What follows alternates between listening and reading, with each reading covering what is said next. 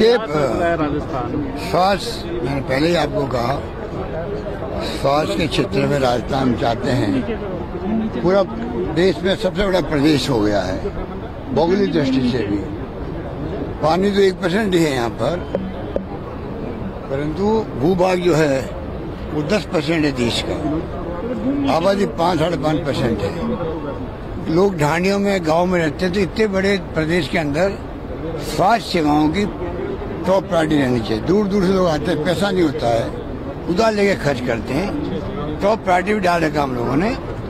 इसीलिए आप देख लीजिए कि जो प्रोविज़न किया गया है, उसके अंदर मैंने प्रोविज़न बजट का आप देख लीजिए, करीब सात पॉइंट छः परसेंट किया जबकि एवरेज राज्यों में छः परसेंट है।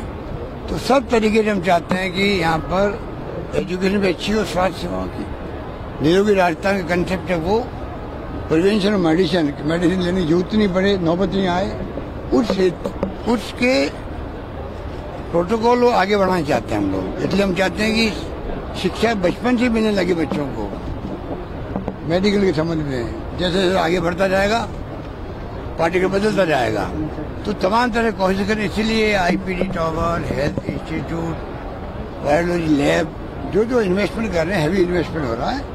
और मैं चाहूँगा कि राजस्थान की जनता साथ दे रही है और हम चाहेंगे गाँव तक, sub centre PSC CSC district hospital सब जगह उनको सुविधा मिले, ये हमारा प्रयास है।